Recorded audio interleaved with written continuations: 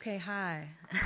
um, first, I want to I want to say a really big thank you to, obviously, to Deirdre and Mother Voices. I feel like there's a lot of there's a great connection between what uh, Mother Voices does and what my project Cultural Reproducers does, and it's really amazing to be uh, meeting with uh, with people who have such a similar such similar ideas and, and spirit and have these conversations. So thank you very much.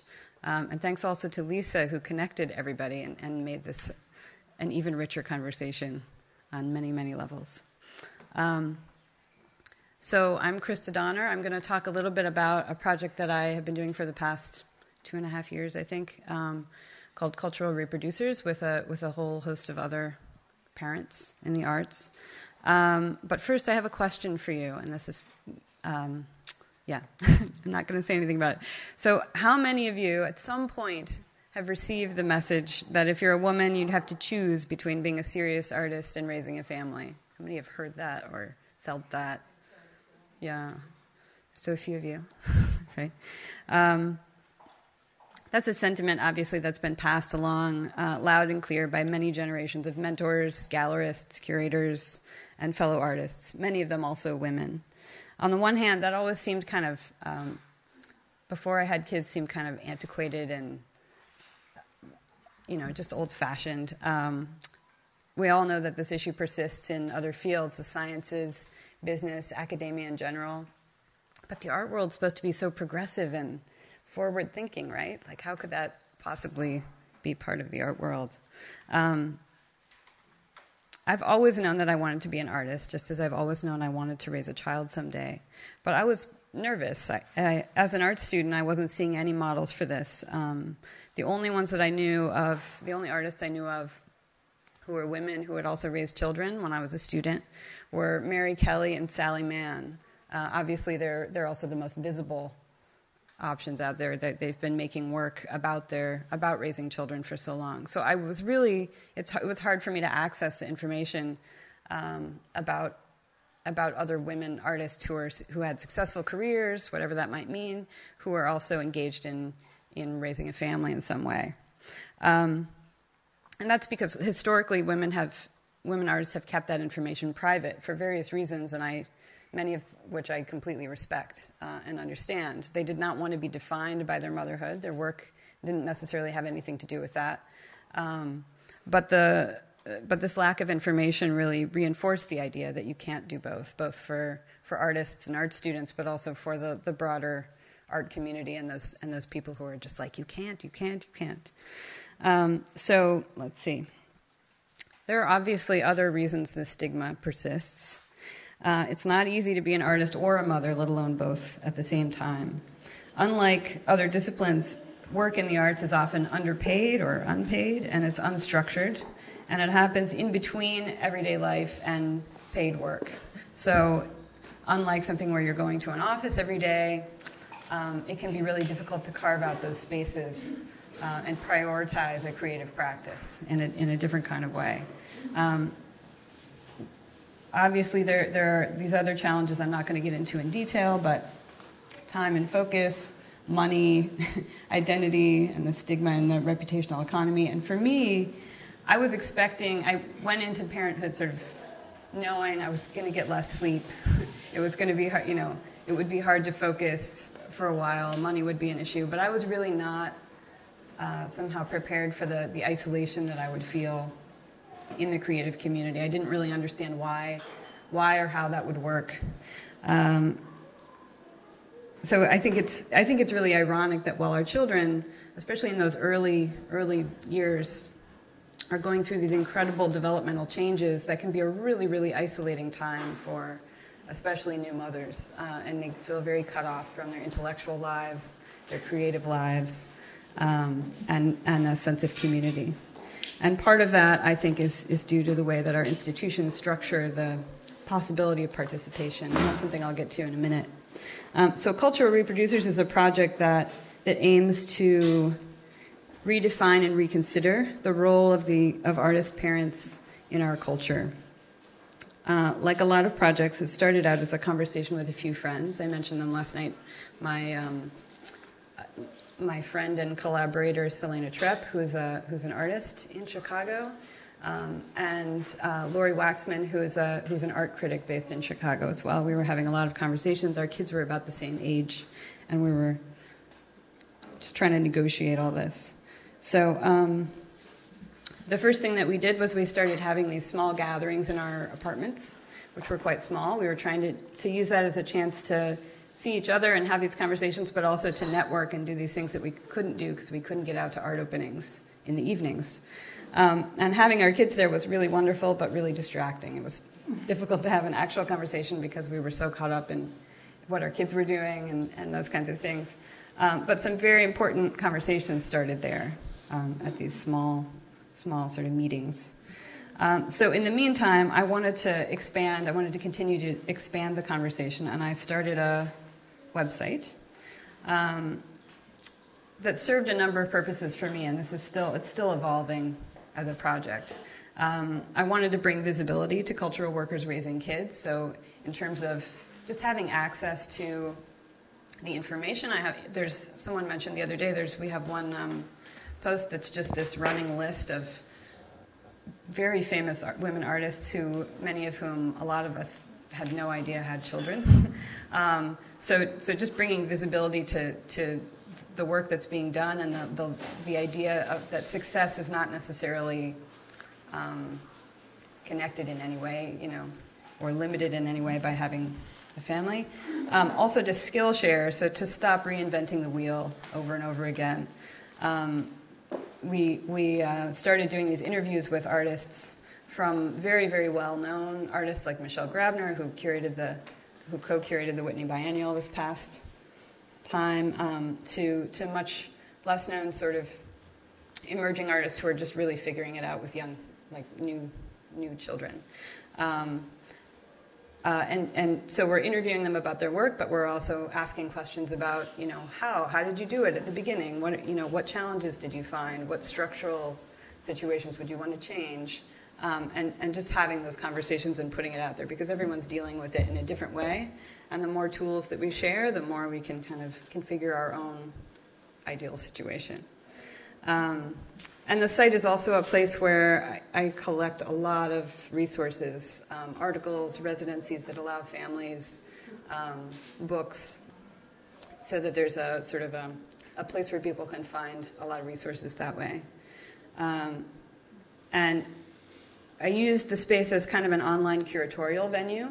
Um, so I wanted to give access to, you know, bring visibility, as I mentioned, to artists from all over the world with no venue to pay for. um, but I, I, was interested in highlighting the work of a really diverse range of artists. So, from those who are who are making work very directly about parenthood, like Lenka Clayton, who I hope, if you don't know her work, you should look it up. It's really, really wonderful, um, really smart and witty.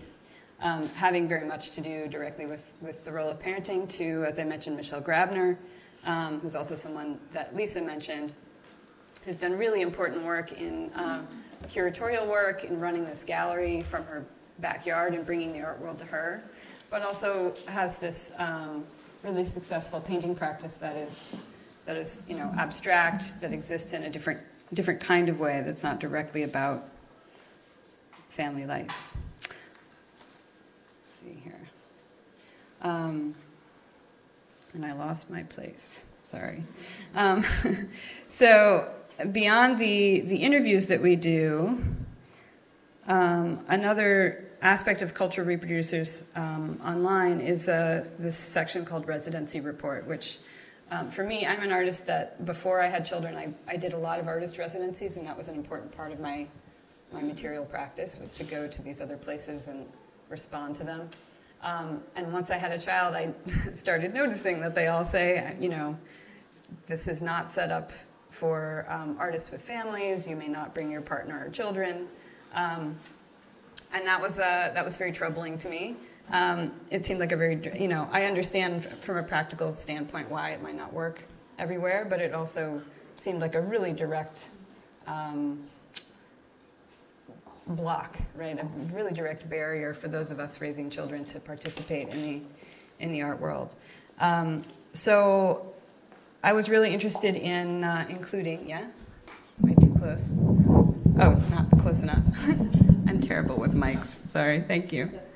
Um, so I wanted a, a way to sh- sort of share information about programs that do allow families, and also to just see again a skill share, see how how other artists do it. So we have a section called Residency Report, where artists kind of write about their experiences.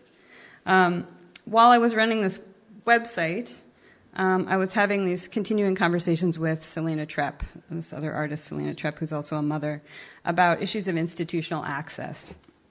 We were looking for ways to get involved in the broader cultural dialogue again, beyond just our group of, of mothers. Um, and so, obviously, on a practical level, it's really difficult for artists with young children to participate in a typical art event because they're on Friday nights, um, far, from resi- far from residential areas in the middle of some dinner bedtime ritual that's totally possible to disrupt, but frankly would have to be pretty amazing to make it worthwhile. So, um, so we were thinking about those those um, problems, um, and and also looking at existing family programming that's out there through museums and galleries. And uh, there is a lot of family programming, but but family programming usually means kids programming that parents can come to, right? It's not it's not anything that that other adults would ever go to. Um, so we were trying to think of what what kind of programming could be engaging for adults, some of whom have kids, um, and and that way sort of integrate the community again, so that they're not segregated into parents, and non-parents. Um, so we put our ideas together, organized a budget, made these drawings of our dream, um, and got a project grant to a very small project grant to do a series of art events at venues throughout the city of Chicago, where I live. Um, and we had two goals. One was to, I don't think I have that slide anymore. one, one was to, in, to really give access to the, the art community for artists raising kids, but also the other goal was to not keep doing this forever, but to provide a model for institutions to say, here's what we would like. We can make it work with a very small budget. Go. right? So to provide a, sort of a framework for that and put it out there and show that it can be done and work directly with those institutions and then put it on them to keep going. We'll see how that goes. Um, so these were artist talks, they were panel discussions, they were workshops, um, but all of them had these these components. They were all on um, weekend mornings. So as I've mentioned before, Friday nights not so good for many of us um, with small children. And also, nap time is often a really, really important time for studio practice uh, for a lot of artists. And when your kids are asleep, it's really tough to leave the house. So that seemed like a really straightforward thing. We would just have these things in the morning. Um, but what we didn't realize initially was that almost all of the museums and galleries we were working with don't open until 11 o'clock, which is kind of when we wanted to wrap the things up. We wanted them to start at like 9:30 or 10, and then um, and then wrap up when the kids started to get tired and cranky and needed a nap. So we had to work with each one of these institutions, not just to have the event, but to open early for us. Um, and that really brought some interesting visibility just to the.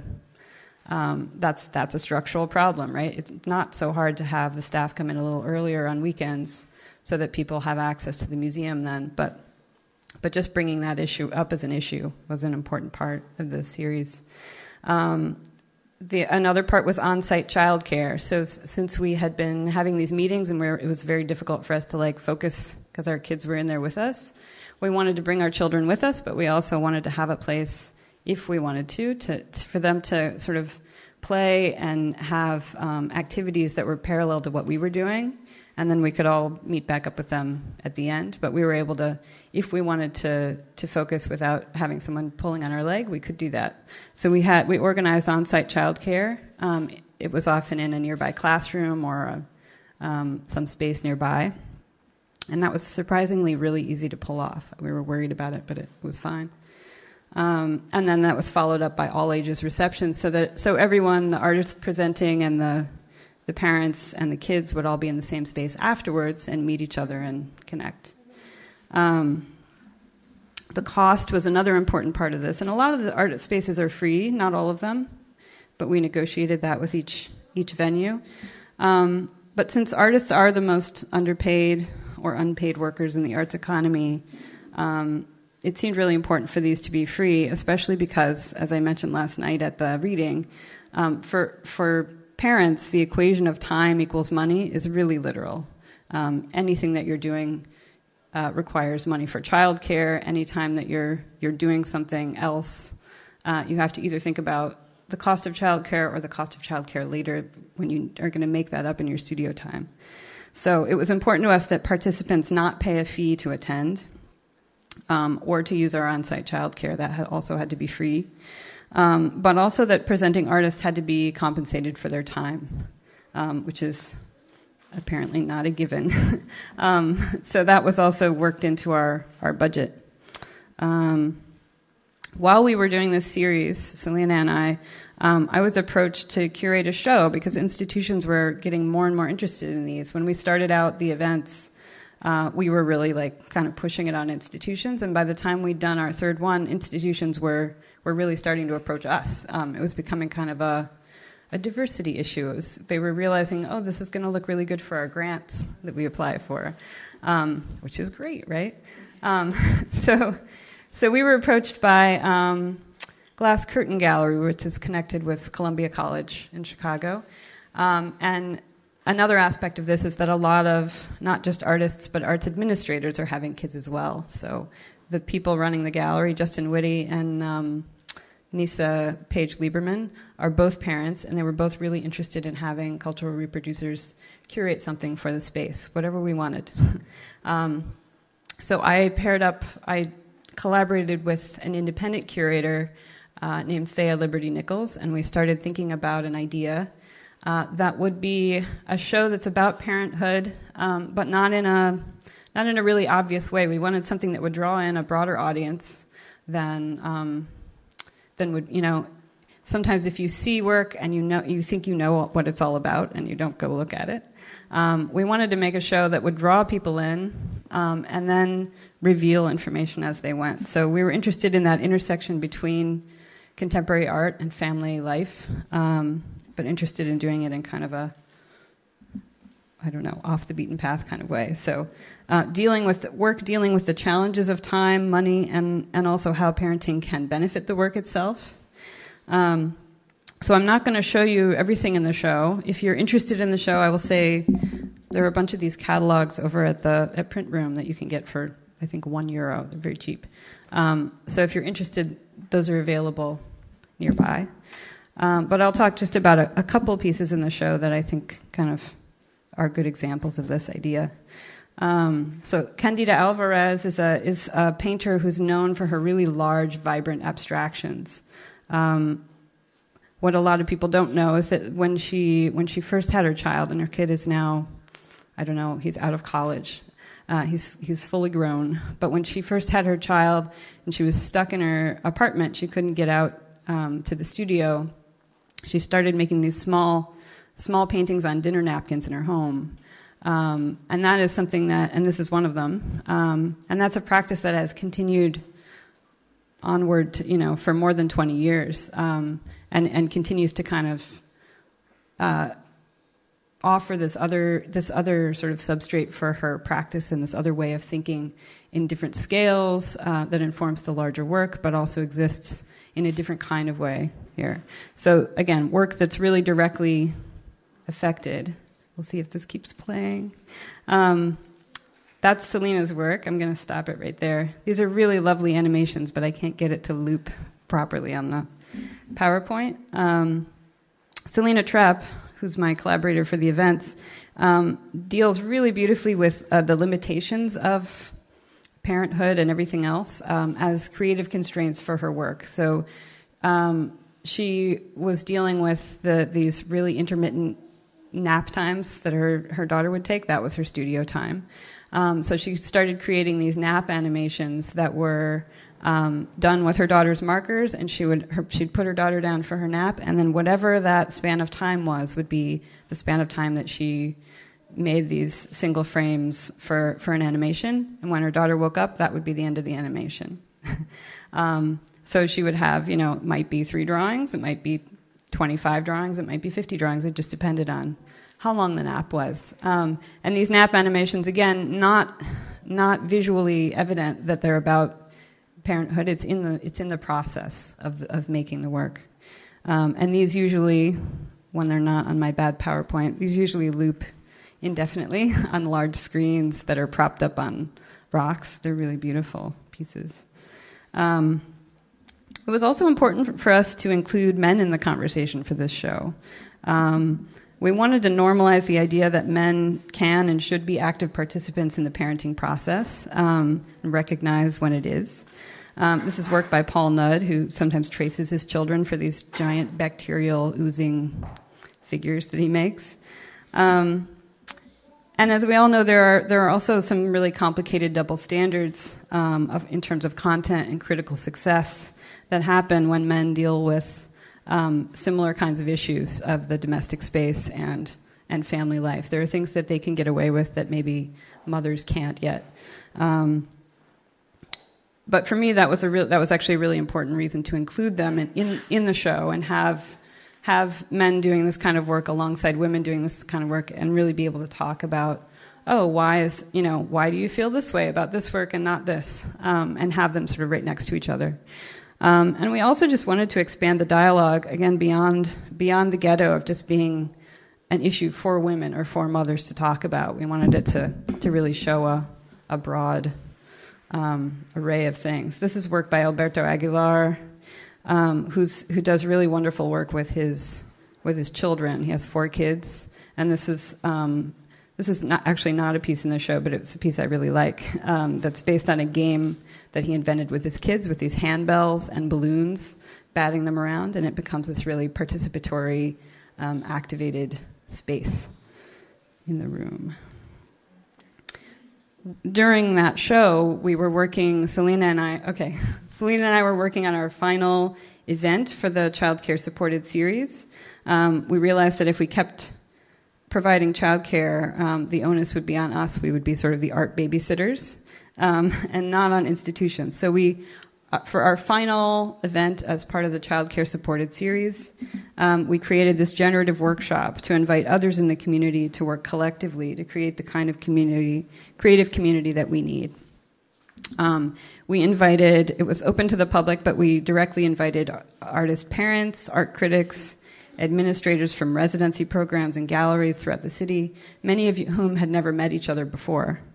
Um, and we sat down and brainstormed what it was that we needed and concrete steps to get there. So there were a lot of really great ideas that came out of it that we're still processing now. This just happened. Um, they included creative childcare co ops and studio buildings with a room for on site childcare and um, a certification process uh, or consulting for institutions. Um, and w- one thing that we're already enacting is this ongoing series of intergenerational artist run events throughout the city. Um, this conversation is still still evolving very much, and we're as we're continuing to rethink our roles as cultural reproducers, biological and otherwise. Um, I'm going to close with an item from our manifesto that I, I read the whole thing last night, but I'm just going to read the last bullet point on that. Cultural Reproducers is for anyone interested in making the art world a more interesting and inclusive place by supporting the work of parents in the arts. Instead of isolation, we seek networks of support, visibility, and dialogue. Working together to realize our collective needs and desires, we will expand the field to make possible new forms and ideas. Thanks.